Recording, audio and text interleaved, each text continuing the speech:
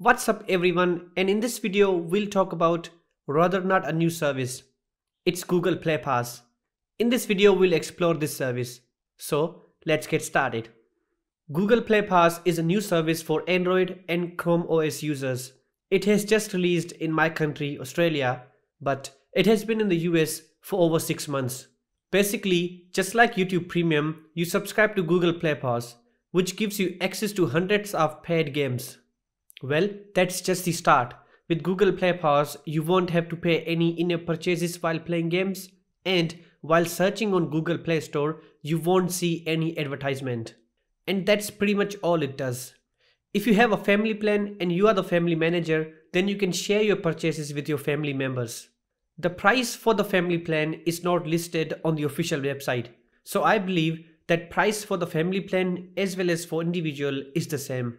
Google is offering 30 days free trial for new subscribers and after that you only pay $5 per month in the US. So how do you know which games are supported? Well, it's easy. You just search for the game and if you see a message promoting Google Play Pass, that means the game is eligible for Google Play Pass.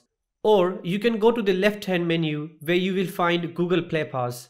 Well, it is limited to certain countries, so if you can't find that option, then the feature might not be available in your region.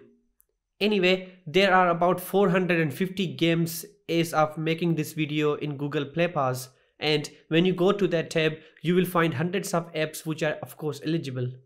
According to the Forbes website, in the US, the games which typically cost in between 1 to 10 bucks are eligible to be in Google Play Pass. So if your game costs more than 10 bucks, then it's a big no.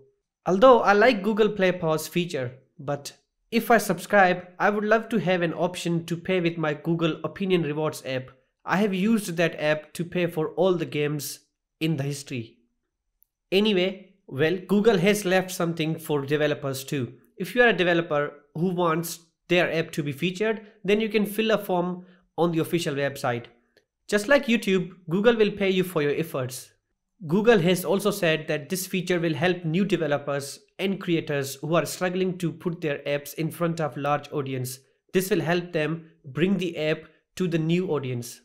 Anyway, that's pretty much all Google Play Pass is. Thanks for watching this video. I hope the information in the video was helpful. Please let me know what you think of this service in the comments down below.